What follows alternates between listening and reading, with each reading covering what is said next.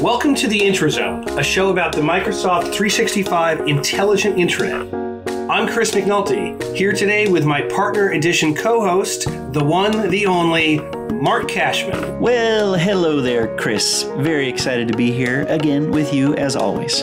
Well, I'm very excited to be here, and I don't see you here. Where's your here?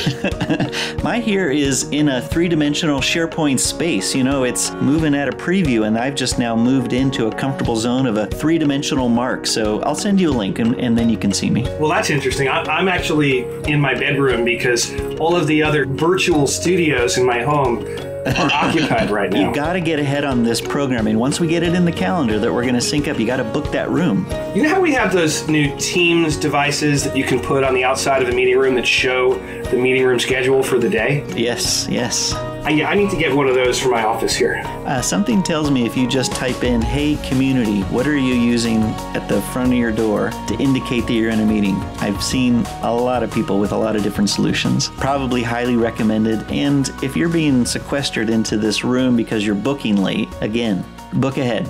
I could also just, you know, I don't know, put a coat hanger on the door to keep people out. Enough of of the joys of virtual studio work. We have other things that we're responsible for, and at Microsoft, our mission is to help individuals and organizations across the planet achieve more. We don't do this alone. So each month we sit down with a different partner and one of their customers to help them share their story about their journey with Microsoft technologies and the kinds of services and solutions that they've found. On this next episode of our Microsoft Partners series for the Intrazone, we're talking with our partner Joro Ayenew from Verinon Solutions and a special conversation with Gary Moss at Stanley Black & Decker that is a Verinon customer. You know, it's interesting, you know, when we were getting our notes together for this, Stanley Black & Decker certainly is a well-known brand to anyone who's ever had to do home repair work, tools and power equipment and so forth. Um, but Verinon's not as well known. In doing some research there, I mean, obviously they are a key player in our content partner program. You know, it's funny. There are some organizations around the world who are very vocal. They have MVPs and evangelists who go to conferences and speak all the time, physically or virtually. They get booths. And I think we're all acquainted with those parts of our community, right, Mark? Yeah, we are. And, you know, once you start to plug in the who they are, because once you understand what they are, where they are, and what they do, you'll see it's a complement to the community. Uh, they are global uh, in their reach. They're also global in, in the context of apps. They focus on helping people leverage, migrate, move to, use everything from SharePoint teams, Yammers, building flows, leveraging the Power Platform, and obviously connected with Chris here and up to speed on everything Project Cortex. If you're moving in that direction, uh, Verinon would be able to tackle. I think the important part is the global reach and what you'll hear us talk about is how they're able to take what might be a very custom migration, move of content, in this case from OpenText eRoom into SharePoint in the cloud in Microsoft 365. And there isn't a, a, standard tool that's just a point and click and do. And I think that's really interesting. If you layer on top of, you know, all of their core and base skills, Chris, in, in terms of your content services program, what is the importance of that ability to take a custom approach from a migration perspective?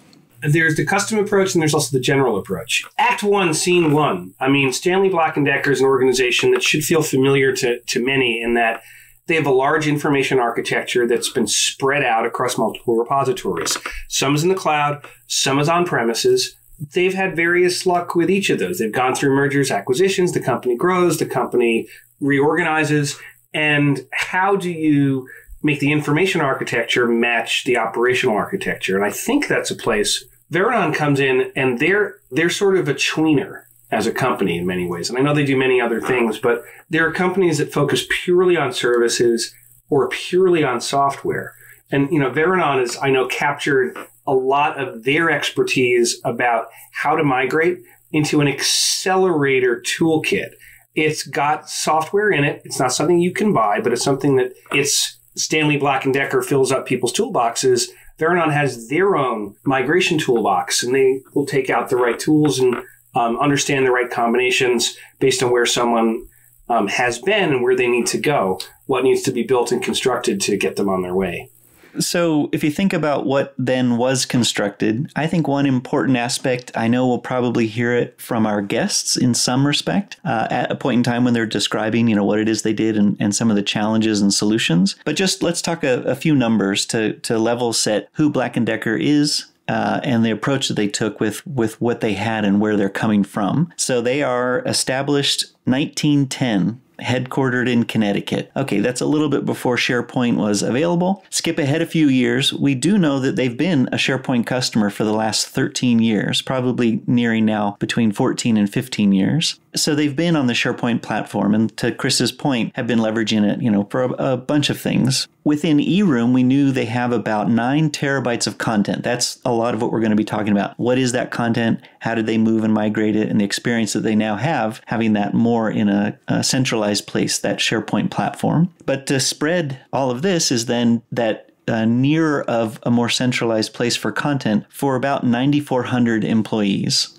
So not everybody headquartered in Connecticut, and like Chris mentioned, that is also split across a number of acquisitions over the years. So they've been growing. But with those numbers, you know, a lot of it is making sure that they do it right. Because if there is the base of employees, if not all of them or some, that are used to when the content was in eRoom, that migration is one thing, but there's also then the experience and the training. And, you know, I think Verinon was there not just for the operational aspects of moving the content that's important but i think it's also then landing it appropriately so that it fits the business matches what the employees expectations are and so not to gloss over that i think also chris that is a big part of what makes a, a set of customers uh, their values to carry forward but also from a partner perspective what layers in the real value of not just being task oriented and executing but just actually looking at the breadth of business and folks, I just did a little bit of side research. I wanted to confirm my impression. So Mark has inadvertently taken us back into the 70s time machine because the tagline, we want to help you do it right, was one of the lines of the Stanley theme song in the commercials of the 1970s. Whoa. All right. Fast forward to the future, Chris. Let's kind of turn the corner and hear from both Verinon and Black & Decker to see the challenges that they faced, the strategy that they took, and then finally the best part, the outcome, the solution.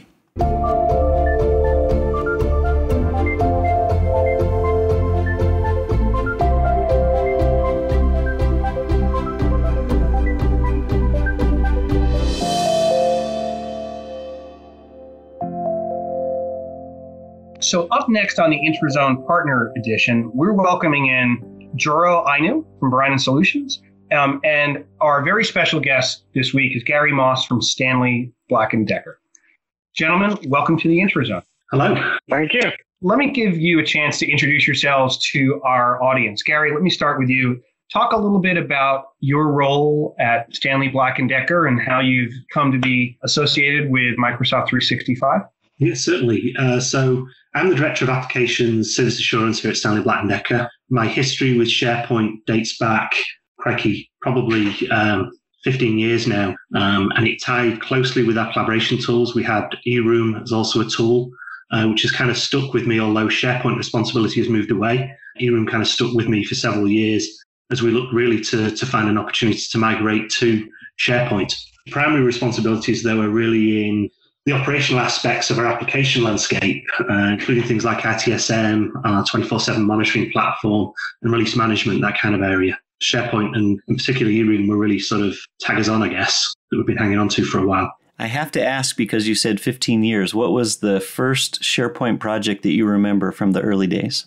SharePoint was uh, introduced as Stanley Black & Decker as kind of a replacement for eRoom. We'd made a strategic decision to to work with SharePoint we took several attempts really to move away from eRoom because it had been so embedded in our environment. And what we did is we used opportunities to find business problems and try and solve them by building that solution in SharePoint. So probably the first things we really worked on was some fairly rudimentary things, to be honest with you, around uh, trying to develop on-call calendars for our operations teams and things like that, and workflows for some of the business processes uh, that were out there in the field already. And obviously raw, straightforward collaboration and document repository. Well, thank you for for sticking with us for those years. Joro, can you give us a sense of not only what your company offers to the world as a partner of Microsoft um, with Microsoft 365 and beyond, but maybe a little bit about who you are and and how you got into this world of tech?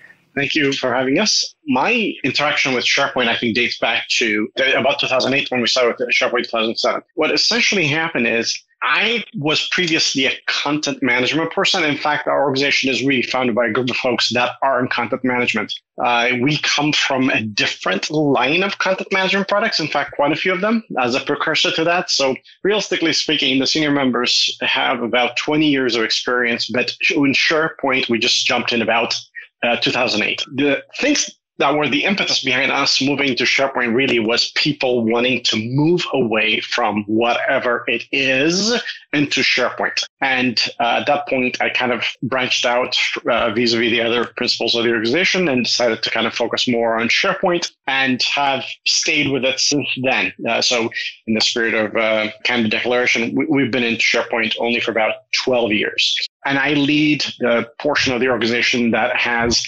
both the tools, i.e., the products, uh, as well as uh, not only the, the products, but the, the, migration services tied to that. And we've migrated from many organizations into terabytes of content from you name it, eRoom, uh, Stellent, uh, Lotus Notes, uh, App Extender. I mean, these are things that you guys may not be familiar with. Uh, Documentum, DocuShare, uh, Jive, we used to be called ASPS. Most people don't know about it. Those types of products. So really, really, I focus now on uh, jumping off something else into SharePoint even more than anything else. And uh, organizationally, I've done primarily that for, for the past 12 years. My group also does uh, SharePoint based development. Uh, in addition to this, if I were to, to take a kind of a, a swag at it, it's probably about 50 50. So 50% of the time, we're doing some level of additional work on the SharePoint side of the platform, uh, all the way to the cloud. Uh, the other 50% really is dedicated to migration. That's really fascinating. I'm going to ask you a little bit more about kind of what your journey is has been with content services and with Microsoft in a few minutes. Uh, but I'd kind of like to turn our attention back to Gary. So hopefully our audience is familiar with Stanley Black and Decker. You know, I, I certainly am. You know, my youngest days seeing Stanley ads in the in the Winter Olympics and saying, I want to get some of those tools so I can build a clubhouse. And most middle-aged men in the suburbs, I have a good collection of Black and Decker tools downstairs. But when you think about how you came to be engaged with Verinon and the initiatives that you're responsible for, can we talk about how you first got acquainted there and what that journey's been like? Yeah, certainly. Well, Verinon really were uh, the answer to a problem we were, that we had, and that is, I said earlier, we've been we've been using eRoom as a tool for many years within Stanley Black and Decker. It was used extensively by our product development teams, uh, marketing, finance. A lot of engineering teams were, were leveraging it very heavily. We knew we wanted to get off eRoom. We'd been really not maintaining it as well as we could. The product really didn't seem to have a future for us either. So we knew we'd already, you know, committed to SharePoint. The challenge though is the years of use had developed a large amount of content that we at one point we felt the only way to move it was going to be manually and that was not going to be acceptable to our business partners we had concerns over some of the workflows they developed and the way they were using some of the proprietary components of eroom so we started to look for a migration partner uh, and Verinon and their easy to share uh, proprietary tool set seemed to be the ideal answer to take that content and, and move it into our SharePoint O365 environment. So really that's how it, how it began.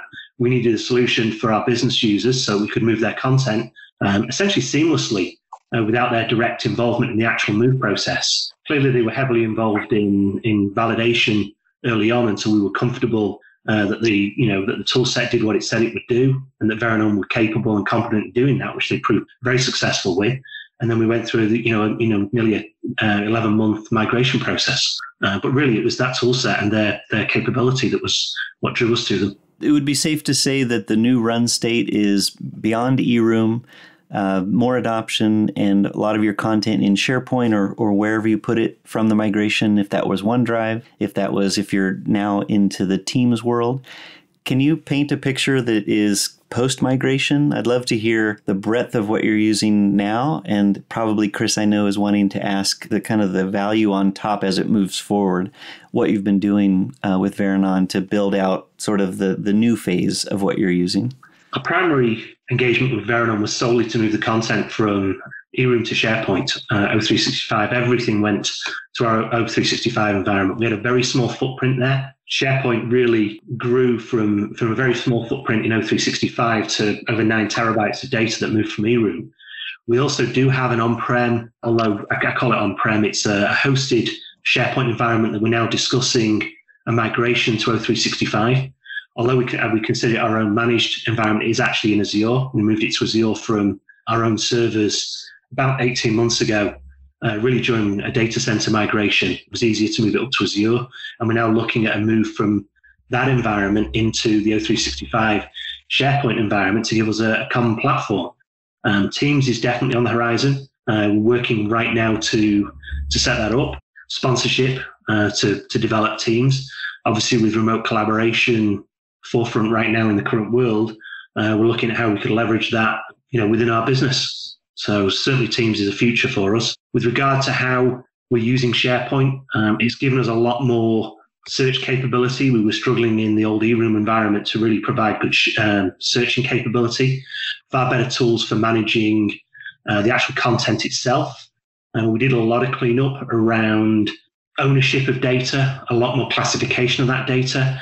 And we also introduced multi factor authentication for some of our third party collaborators uh, with whom we work.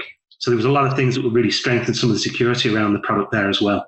I'm curious to get a sense of what do collaboration tools look like in a company that is known for tools? Like, how widespread is your workforce? And remote work, I can imagine being a little bit more complex for an organization that is dealing with you know physical assets and physical assembly and physical distribution. Yeah, and again, that that obviously is going to depend largely on the role uh, you have within the company. I mean, certainly manufacturing is is obviously you know fairly physically bound, uh, as with distribution and many other aspects. But there's a lot of other areas, um, particularly IT, where you know we've been very easily uh, moved to a to a mobile workforce. As far as uh, geography, I think uh, you know with over fifty thousand employees, I forget the number of countries, but certainly a very global country, heavy presence in most of the major countries of the world. So yeah, we, we're very global you know, very distributed workforce. As far as collaboration tools, we've used pretty much everything over the years that's, that's you know, you, you typically hear your, your, Zooms, your Skypes, you, you name it. We, we've used it all. As I say, Teams is, is also on the, on the horizon. When you added the security measures with multi factor authentication to bring in third party clients, or it sounds maybe partners, uh, in the in the workflow of your distribution or life cycle of product uh, development, maybe just a little lens on uh, who those external users are, not by name, but but just by their role, uh, and how it is that they do have access to content for a period of time with security in place, and maybe what was life like pre SharePoint, pre Microsoft 365, in the ease of that. What does that look like for the content and, and just that descriptor of the people that you're working with? Yeah, I mean, the for the most part, these these are folks that are working on could be anything, I, I, suppose, from you know component design and for introduction into tools or whatever, particularly in the engineering space. With regard to how we integrate them, largely they are, or they are always authenticated against our own Active Directory environment. We treat them largely like uh, consultants within our business, with a owning manager who's responsible for their account creation, termination, and cycling through the, the renewal of that account on a, on a cyclic basis. What multi-factor gave us really is both for internal and external contractors or, or employees even is that if the you know somebody's accessing some of our content with a non-SBD device for any reason, that we're asking for that additional verification that they are who they say they are, even though they may have what appear to be good credentials. You know, we felt that was just really a next level of security, particularly when we're dealing with, to say, third-party vendors who are not on our network or accessing some of our content uh, remotely from another source. So that's really what, as much as it gave us uh, in YC. And again, it's not an area I have a lot of direct responsibility in, but we did introduce it as part of this migration. So let me bring Joro back in because one thing that's interesting about that is you know, an 11 month migration process. I mean, I remember back in the day when things were running on premises, you know, occasionally you might tell people, we're going to shut the server down for the weekend to run an upgrade. How do you approach, you know, what and what tips would you give that you kind of have learned along the way about a transition and a transformation which can last almost a year? Yeah, uh, well, plan, plan, plan, plan.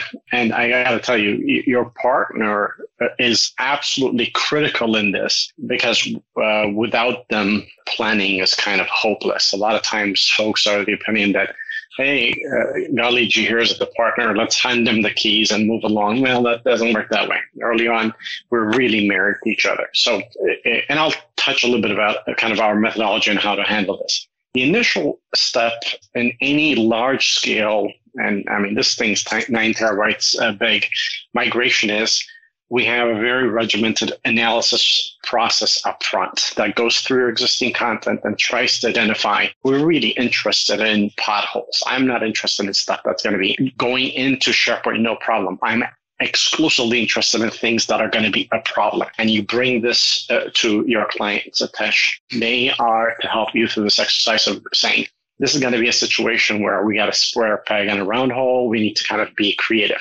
We have to bring set of recommendations up front as to how we attack it.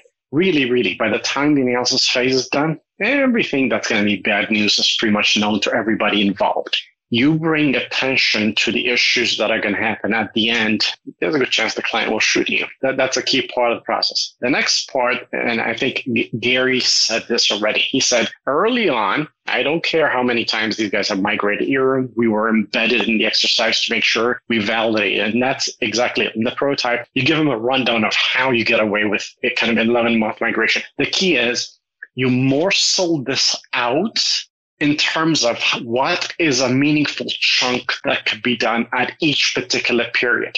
Now, it could be monthly, it could be biweekly, it could be whatever it is. You essentially, as part of your analysis and your, your post prototype plan, chunk this out into meaningful pieces. Many a time, and I've had a couple of clients where they took a, a, very, very large piece of content and demanded that it all go live in one day. Really, really, uh, it can be done. I've done it a couple of times uh, unwillingly, uh, but but it, it, tends to be a bit of a you know we've done this for over a decade.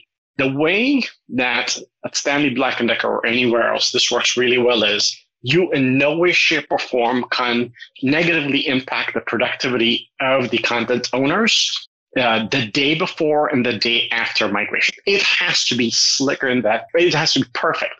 All permissions have to be there. All existing metadata has to be perfect it has to be that way. And the way that it happens is we have windows of time and variably on a weekend we refer to as an incremental migration where we first migrate all the content and then we do what's called a delta or incremental migration on a weekend to just grab whatever is new. So an 11 month migration actually becomes not an 11 month migration, but let's say hypothetically speaking, you need eight months of that to be full product migration you know, say biweekly, you're looking at 16 separate migrations, which are very manageable. Yeah, I think the mindful approach outside of painting the picture of how it's going to happen, and as you said, you know, the, the pros and cons, there there are some give and gets uh, I always know that there are those interesting conversations of we see you have a lot of content, and if you aren't thinking about leaving some of it behind, let's have that discussion. But ultimately, the planning, the execution, whether it's one day or over several days, uh, I think the thing I, I have heard resonates most from what I've heard with other migrations and just other success stories is being mindful, planful, upfront, honest and then get to work. There is just content to move, and you know how to do it, and customer needs to be aware. And then there is at the time when you press the magic button. And, and on the other side of it, of course, is the upside that was part of the plan. So I congratulate you both for being at that state, and we certainly hope that not only initially, but but ongoing, it has been the right decision. Why, thank you.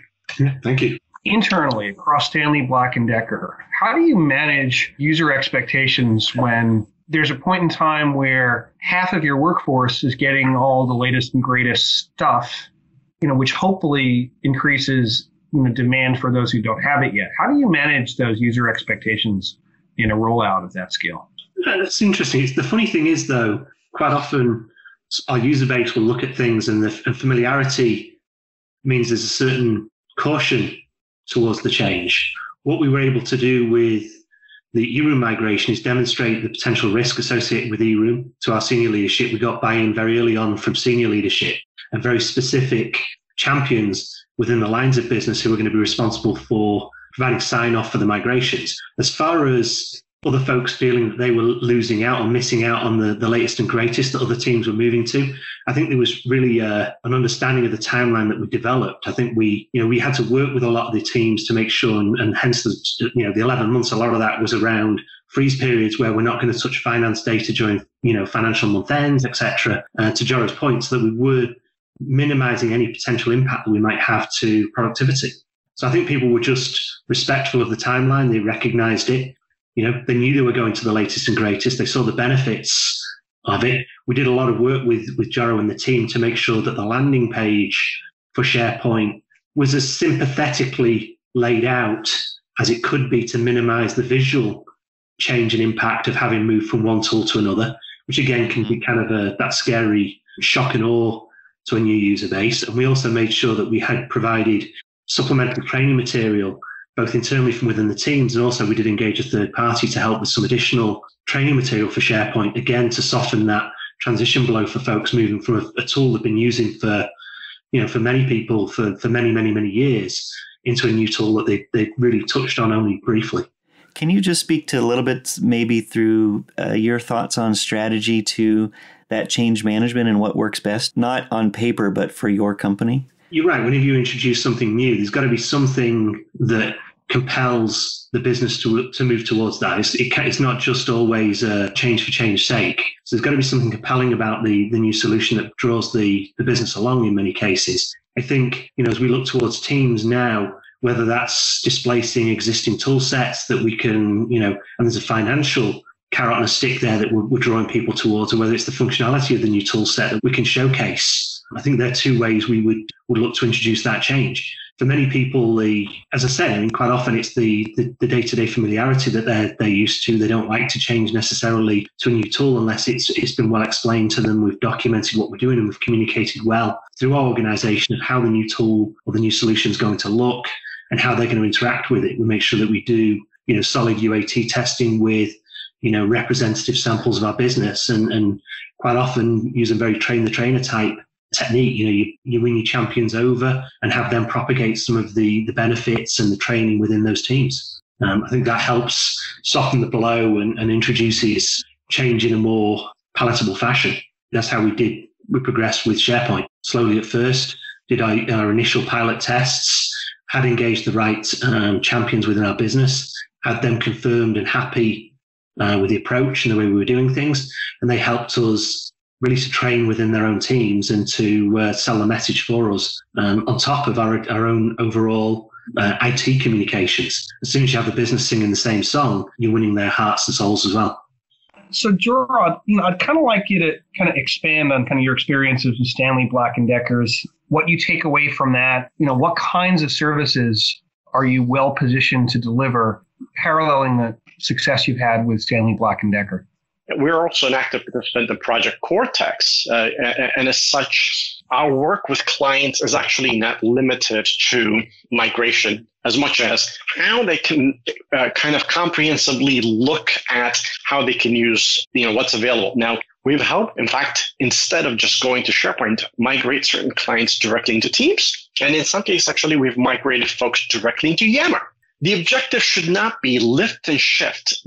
Our objective always been how can they make a more expanded use of what is available? Because really, in the large scheme of things, your objective to moving to uh, uh, SharePoint on the cloud, beyond the fact that, let's just say, it eliminates much of the cost and the headache, is the fact that it gives you significantly more improved tools and improved functionality that allow you to make a better use of it. One of the things that we have experienced in prior work we've done is and, I, and to be honest with you, it's not from other platforms to SharePoint as much as when people actually go to Share, from SharePoint to SharePoint and we migrate them is once they better understand, especially what the Power Platforms uh, have the ability to deliver, what we have seen is a lot of add-on work that's related to that, especially as it pertains to how to make something, uh, let's just say, better deliver the business solutions than what it did previously.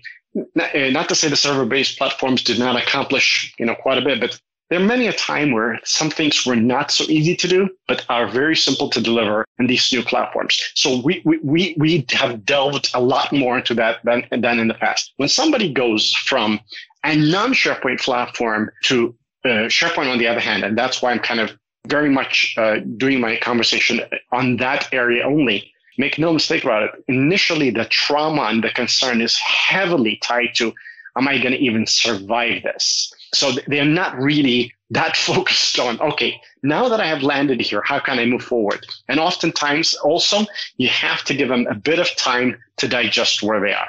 It's not that there's any crisis that occurred, but historically, I have noticed that when somebody goes from a non SharePoint platform to SharePoint, there's about a year of decompress. So thank God that prior year is over. Now let's better understand what we can do with this thing. So that's how we have seen things pan out historically.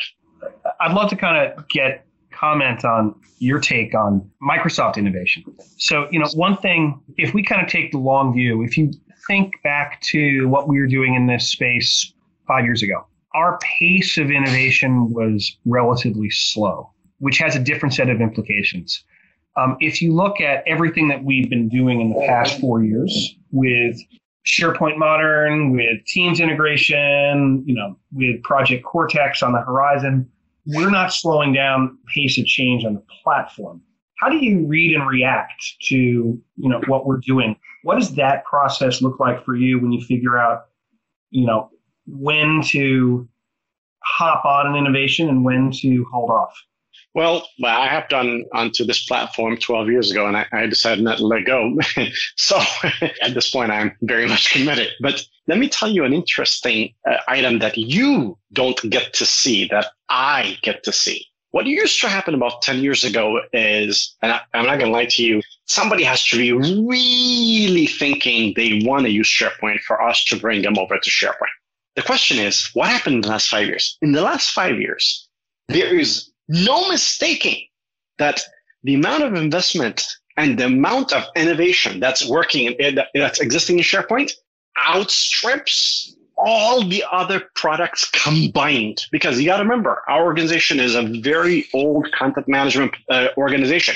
We were uh, well partners with a lot of these companies for many years. What has happened may not be visible to you is i have a much easier conversation today talking to an organization that is trying to go to sharepoint from a different platform where i don't need to say much. Microsoft already pressed the gas pedal hard enough that they almost have no choice. And many a time they say, Hey, this thing is flat out not working. I'm stuck with it. How do we go from here? You know, I'll give you a simple example. Stanley Black & Decker decided to go to SharePoint and absolve themselves out of eRoom in 2003. So that chugged along, chugged along, chugged along. And approximately three years ago, they said, this is not even a discussion. That's it. It's over. We are going. So the thing that I think you guys may not notice that I notice much, much more significantly is I'm going to say this nicely the game is over. There is really one de facto standard that exists in the industry. And you got to remember, I started this 20 years ago when, for a fact, there were other products that were the de facto standard that's where things are. Well, we're not going to argue that one too much. well, that is reality. But it's not because we, we're partners with you. We do understand it. We, we certainly aim and strive to not only you know be competitive and and stay ahead in areas. We know where strengths and weaknesses are, and I think the real value, though, and what Chris and I like to highlight with the particular partner episodes, but really through any episode, is there, of course, is value in, in how we approach what we're building. We, we want to build the best that we can, but it really doesn't land with the proper amount of feedback, integration, reworking that we get with working with customers and partners. And, you know, if you look back a, a number of years, even before what this term we've now used this modern era of SharePoint. There was a lot that people did on SharePoint, but there was a lot of frustration. And uh, I think the nice thing about Microsoft, and I hope for your companies as well, is uh, the status quo is never the same, and it's never the same for everyone. Uh, so always thinking, what can we do better? What can we do next? What aren't people doing? Uh, and we certainly appreciate kudos and, and the work that you're doing to keep us and you and Stanley Black and Decker ahead of that curve because I think through this conversation, anybody listening would realize it's not a, a just join Microsoft and, and off you go. There's a lot of work to get there. There's a lot of work to maintain. And I think to, to what Gary has shared, uh, which resonates, I think, with everything that everybody's saying is you have to be mindful of the end user and bring them along the journey or else they will turn on you and that's a lot of wasted work if you if you don't involve them soon and often. Very true. I think to take it a step forward statement i'll make is that the scale and space of innovation at, at uh, sharepoint and this might sound bad to you guys but is so fast that i oftentimes see that the capacity for people to understand what the benefits are is not happening in fact fast enough. And the reason is there are so many new things added. There was a time when SharePoint had one new feature and everybody knew about it. Oh, yes. Today, there could be 50 new features. And as such, the capacity for people to digest the, the advantages of each one of them is, I think, in fact, to some extent, a challenge to people because they're saying, wait a second, they added this, this, this, this, this. Okay, so h- how do I better understand each one of these? So the challenge, in fact, has flipped these days. It's not a case of they're not moving fast enough. You guys are moving very, very fast. And it's positive, to be honest with you, because different consume different features. Yeah, but Gary, from your customer perspective or, or your own perspective, just as somebody who's guiding decisions that then get implemented, how do you keep on top of what it is that we offer and then decide what you want to take advantage of? But to posit Joro's question onto you, how are you finding keeping up with the level of innovation from us and, and from any other vendor that you that you work with these days? Yeah, I think collaboration with the partner is key to that. Staying in touch with them uh, and your account team, making sure that you you are aware of what's new and, and whether it's within an existing product or new products that are being introduced. Certainly, you, have, you know you're not going to implement everything, but you're certainly looking at those things. You're partnering on the other side with our businesses to understand what the, what their problems are or what their issues are that need to be addressed, or how we could improve their efficiencies. And you look for some sort of you know harmony and marriage there that you can bring the two together but certainly the vendor, you know, has a big responsibility, I think, in, in keeping us educated. There's obviously a lot of material on the web and emails and goodness knows what else, but you know, that collaboration with the partner themselves is probably the most um, direct path to get the latest and greatest information in, in a clear and concise fashion where you can you can ask questions and, and understand it a little better. I would concur. I, think Gary hit on the neck. And the thing you need to understand is just three, four years ago, we used to migrate everybody, to, for example, to a classic site. In short order, I mean, there's a lot of momentum around modern sites. So a lot of our, my work was on how to kind of build up modern sites. And immediately thereafter came Teams. So, so, so what has happened is there was a long period of very gradual movement of new offerings, but in short order, a lot of them have come. So at times, if I were to, to kind of point at something, I would say, there's a tendency for people to say, wait a second, is Microsoft going to make something cooler than this tomorrow? It's interesting to hear you put it in those terms because our CEO has famously said it's it's not our job to be cool or to make cool stuff is to make stuff that helps other people be cool. We've had a pivot, I'd say internally. I don't know if it translates externally over the past two years to really focus much more on the end results of the imp- the user impact as opposed to the really cool technology.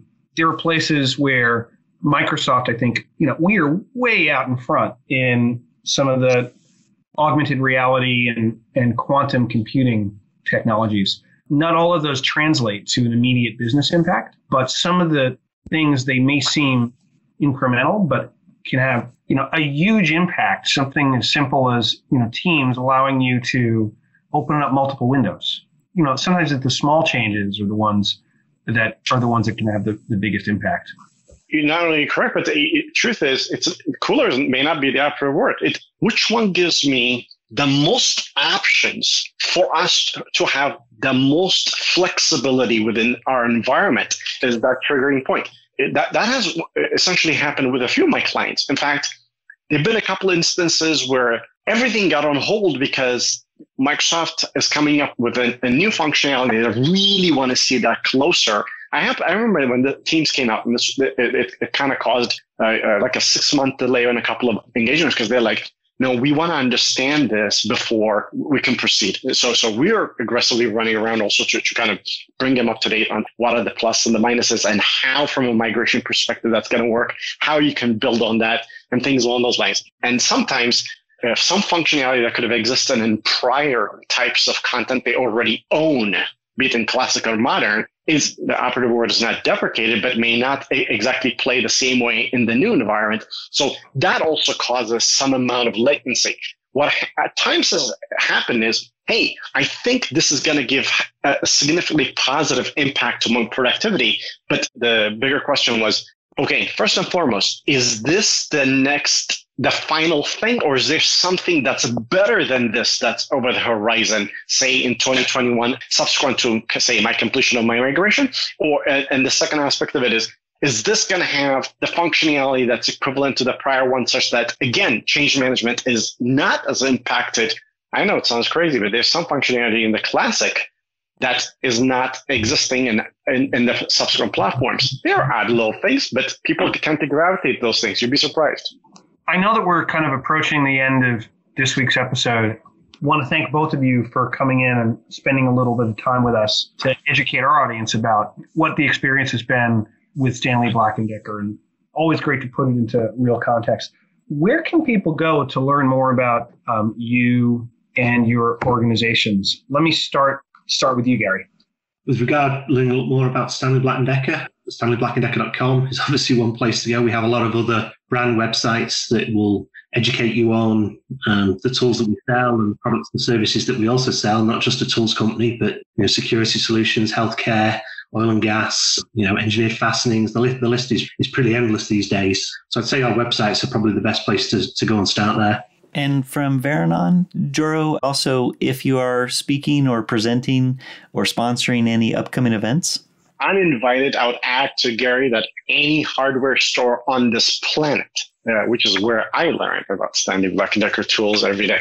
But that going back to us, uh, Brian.com, I think, is your best source, yeah, to be honest with you, by virtue of the fact that, and, and we publish uh, quite a few uh, white uh, papers on especially a lot of the stuff that we do around content management. And as you know, with new innovation and new uh, uh, things happening, the stuff that we do is not something that's told in, in small morsels, often Twitter. So it's not painful, but it requires you kind of to brief up on a couple pages to better understand how to handle a particular problem, no matter what it is, whether it's virtual documents, whether it's migration from different platform, things along those lines. So I would say uh, our white paper section within our site is probably by far the best. Great. Well, we will find that and make sure we have the link in the show notes um, to promote more about what you do, but also I think just for people to get more under their under their hats and belts about how to do this, how to approach it art of the possible, knowing that others have done it before them, I know is always reassuring, but the know how uh, is always great to promote. But again, uh, Joro and Gary, thank you for sharing. Uh, we're really pleased to have you on the Microsoft 365 platform with sounds like more coming, uh, and very pleased that your businesses and people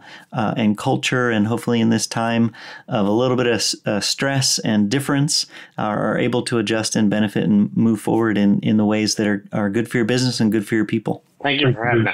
Yeah, thank you very much for having us. Thank you.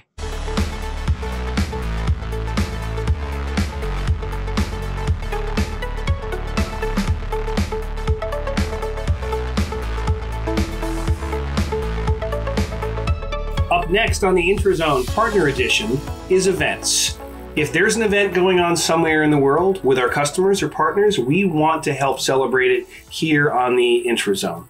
So, Mark, I know you're looking at the same calendar as I am. What are some of the events that we are tracking here in the Intrazone studios? All right, so coming up fairly soon, November 17th through the 18th, is our partner Quest's TEC 2020 event. And to be honest, Chris, I think you're more plugged into this one. I think you've got a, a slot and a speaking notion. So what, is, what are you doing with Quest? Um, yeah, so the Experts Conference is back after a couple of years hiatus. Quest brought the Experts Conference back as a live event last year. This year, obviously, um, they're expecting about 6,000 people to their virtual event. It's two days. It's very Microsoft themed, but not Microsoft exclusive. So tomorrow morning, I'm going to be splitting the keynote with Greg Taylor from our Exchange team.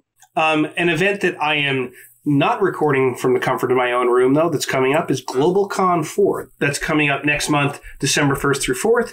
The agenda is a really long URL that I'm not going to read on the website. Those folks, they've really been hitting it with these impactful digital events. They've got into a good rhythm.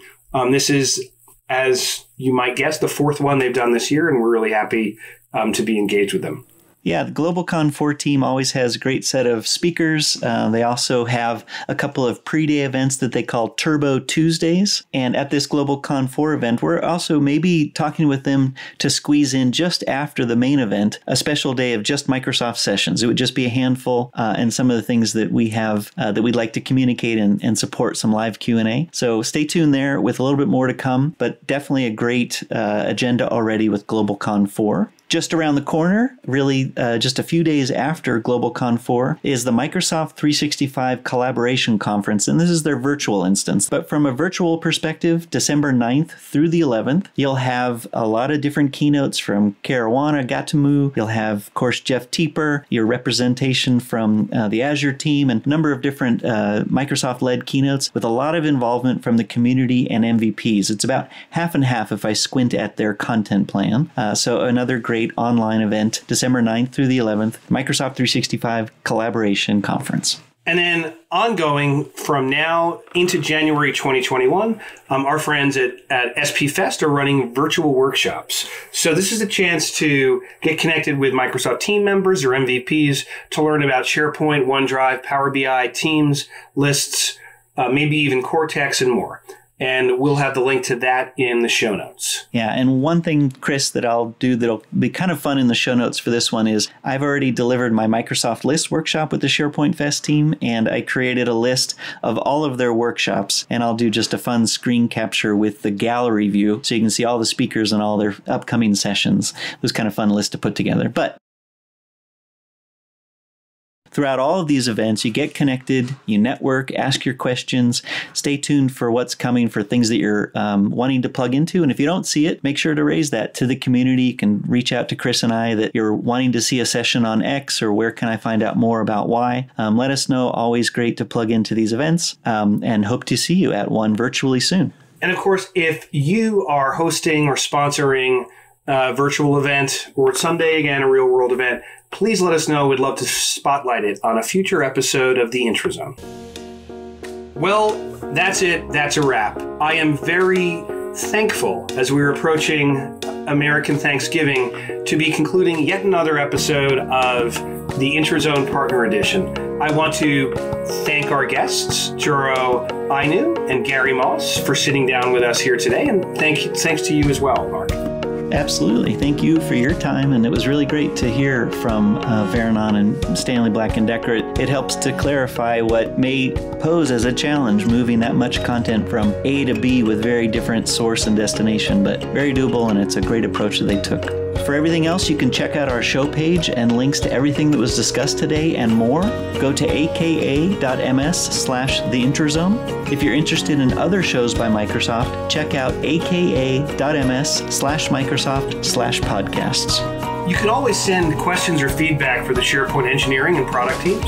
Email us at theintrazone at microsoft.com or reach us on Twitter at SharePoint, at mkashman, and at cmcnulty 2000. If you enjoy the show and you want to help others find it, please rate and review the show. Tell your friends and colleagues about the show. You can share that SharePoint love anytime, anywhere, and of course, subscribe where you get your podcasts. Thanks again for listening. We're your hosts, Chris McNulty and Mark Kashman, and you've been listening to The Intrazone, a show about the Microsoft 365 partner powered intelligent intranet.